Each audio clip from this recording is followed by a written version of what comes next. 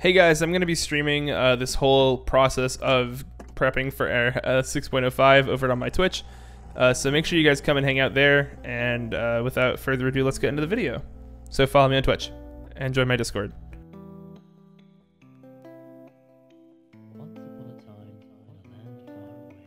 Hey guys, what's up? Fur Daddy here. Uh, today I'm going to be making a new kind of video that I want to try to make these like at the nearing the end of every patch, and it's just kind of going to be the stuff that uh, you should really do before the next patch drops. So these are going to be focused on non-combat and uh, non-crafting at the beginning, and then at the end of the video I'll talk about the crafting stuff, which can basically be the way that you make like a ton of money.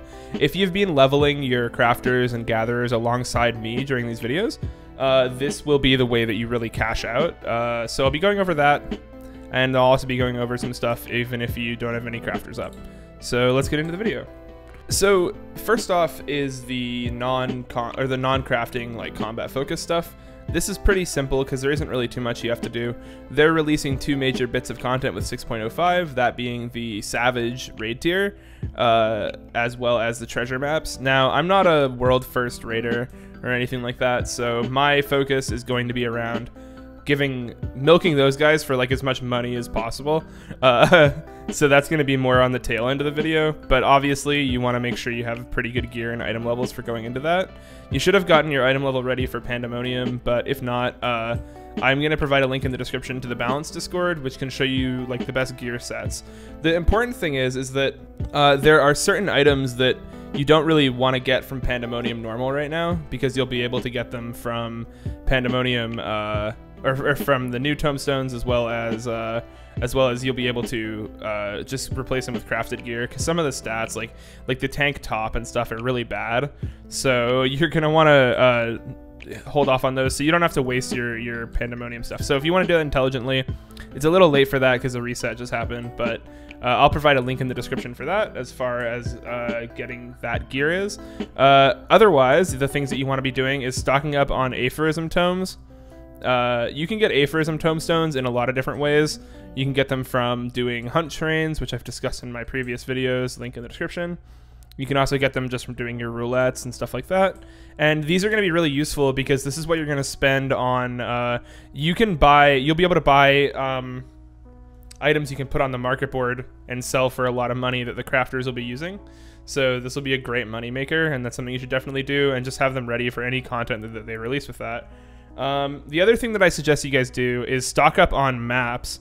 Right now, the uh, the Kum the Kumbhira skin maps, which will be the ones that open portals in 6.05 when the Excitatron 4000 comes out, uh, those maps right now are going for really cheap because they're pretty bad because they don't open portals. But sure enough, once they open portals, they'll go to the price of the other maps, which is like 60 or 70k. So here are some ways that you can hold on to multiple maps if you want to stockpile them. You can decipher one of them. You can hold one of them. You can put one in each of your retainers. You can put one in your saddlebag. And then you can also mail them to your friends. So if you have friends that you want to go along with this with, you can send a bunch of them to your friends and hold on to more of them that way as well. That's what we're doing because we'll be doing my map streams uh, again when that starts up. So look forward to that. The last thing that I'm going to recommend is just to make Gil while you can. Uh, things are going to get really expensive at the, every patch, basically. Uh, so you're going to want to have that Gil available. I'll be making tons of Gil making guides when it comes out, but you know, you want to have some money uh, on the side, and I have some methods that I again have linked in the description for doing that, and that's in my other videos that I've been uploading the past couple weeks. So that's pretty much it for uh, for the non-crafting. Uh, there's some other creators like Mr. Happy and stuff that are more focused on raiding, that have made videos on what to do in that regard. But this is more so focused on the casual player in case you uh, are just wondering like what's like mandatory to do. Just getting your tomestone gear and getting your uh, getting your raid lockouts done and stuff like that.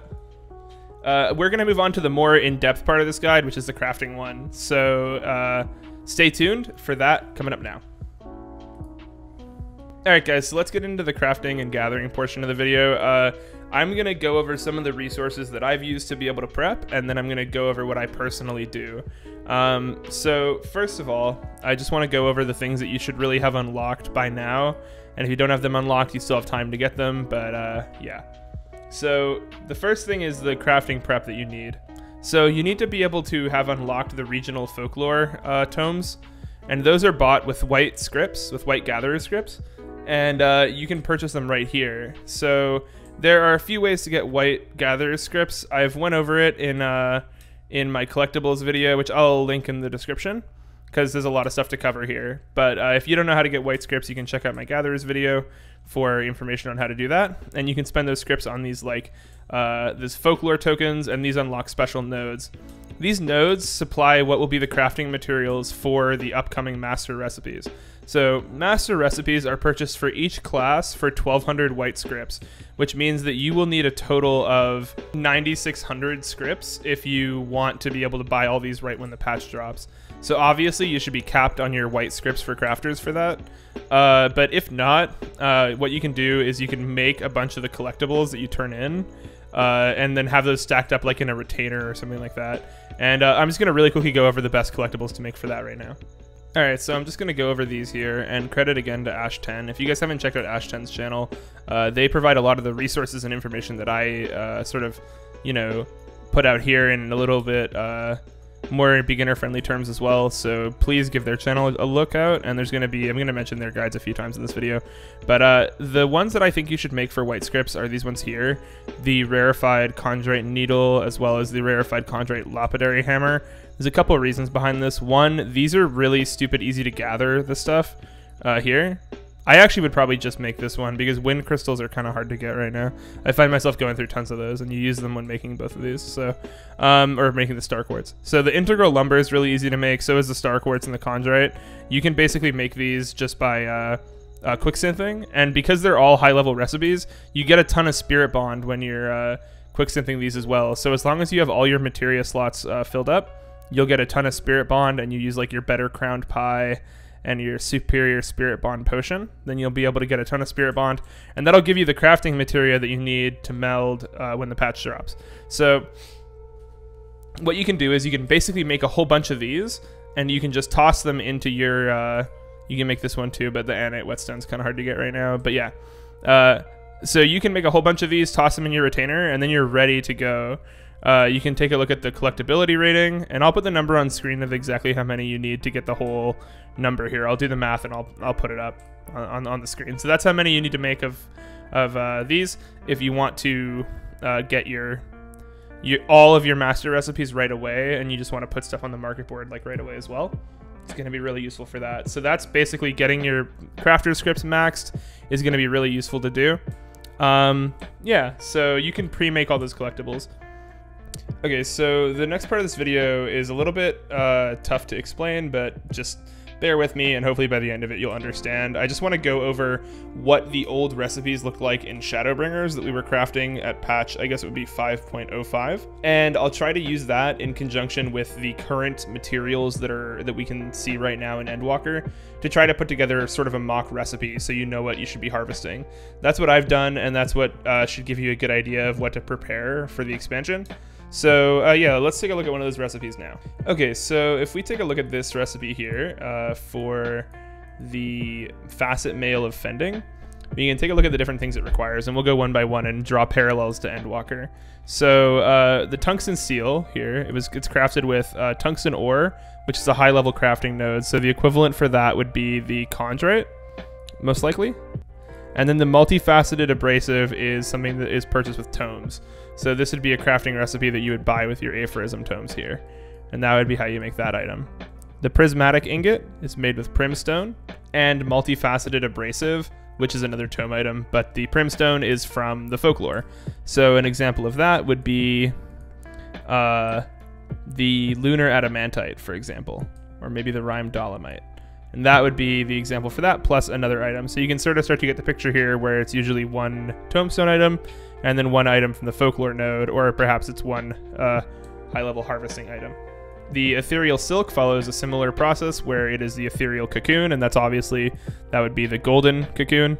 And then uh, the multifaceted cotton cloth would be another uh, tomestone item. And then you have the deep gold nugget, which is a high level crafting nugget, and that's equivalent to be the high durium nugget. And then the grade 2 vitality alkahest, that will have a crafting method that will be the grade six alkahest, and that would be a tomestone item, a aether sand, and I'll discuss the methods of obtaining the aether sand in a moment, and then a item that could be something like the double-edged herb.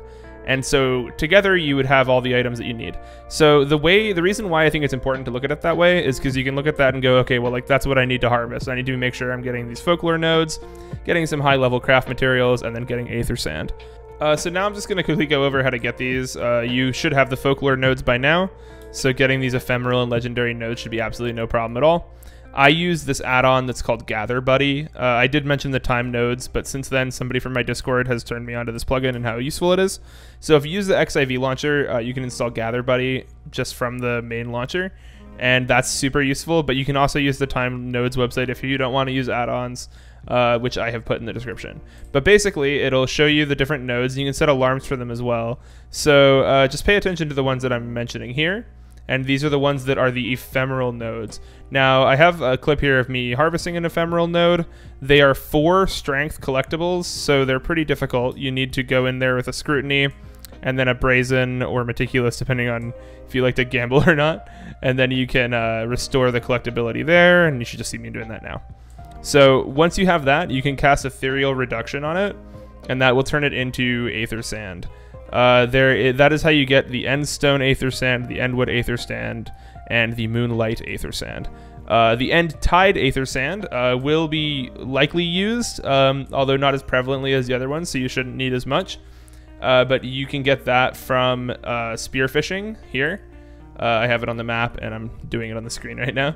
You should be able to see that. And basically, um, you're looking for these fish that have this little thin, thin marker in the middle. Like it's a medium-sized fish, but it's a thinner hitbox, and you can hit that, and you can use Nature's Bounty to get a better better quality rating on it, and that will give you the Aether Sand. So what I was doing is I was harvesting these Aether Sand nodes, and then between them, uh, either doing the fishing or I was getting the um, the rare or the uh, the unspoiled nodes that give me these good items. So like I would, for example, hit up the Stone Hard Water and Rime Dolomite node to get Rime Dolomite in Garlemald, and then I would uh, I'd go and get like the palm chippings right after, and you have time to do both of those, and that also gives you a whole bunch of Spirit Bond as well, and so you get tons of materia and tons of those items. So that should get you all prepared. Uh, that's what I've been doing to prep, and I'll be doing that in my stream again tonight, and just getting ready that way so basically, just to go over all those concepts again, uh, what I think you should do is you should unlock your regional folklore, first of all.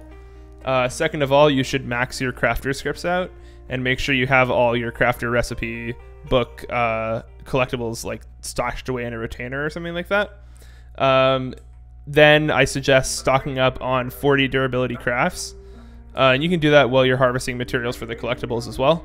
Um, so that means stocking up on Arcean Velvet or Scarlet Moko Cloth or uh, just any of those really. Uh, blue Zircon, things like that. Then I think you should stock up on Crafter's Materia, which you'll be getting during this point in time by uh, spirit via Spirit Bonding. And then um, I think you should have each of your Aether Sands on hand, which I've just went over. Finally, I think it's important that you decide what market you want to corner and decide what gear you want to focus on.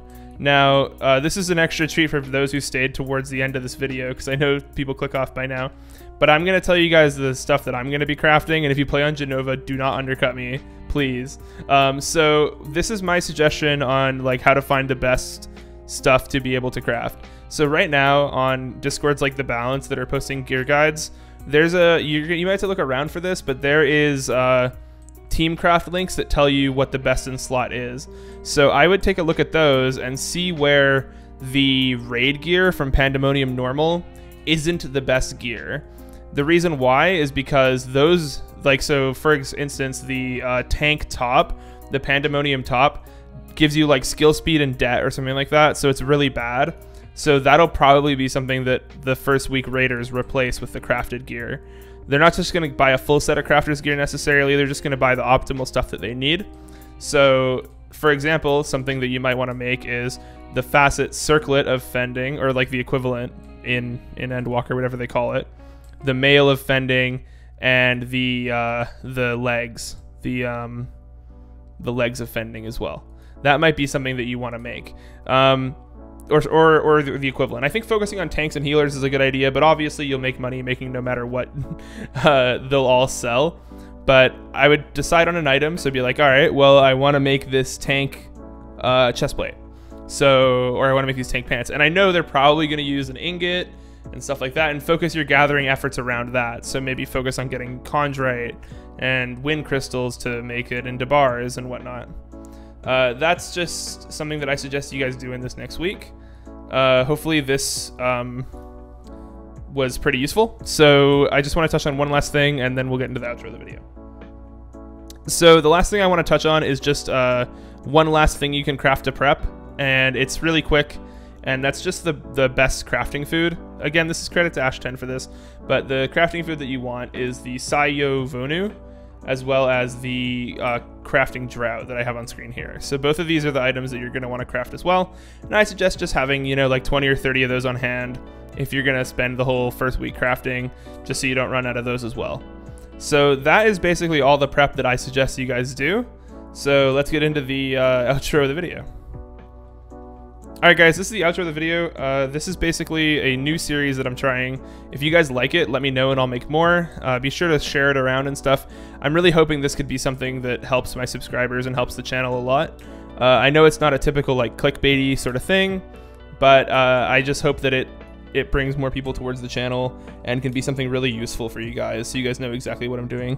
I'll be streaming all this prep that I'm doing again over on Twitch so you can check that out there as well and you'll be able to uh, to watch and maybe prep along. I think that'd be really fun. You know, maybe if you'll play on Jenova, we can do this stuff together. So hopefully this was useful to you guys. I want to keep my promise to you guys of making a ton of money, so we can do that. Um, thanks for watching my video again, and I will see you guys uh, probably in 6.05. Cheers.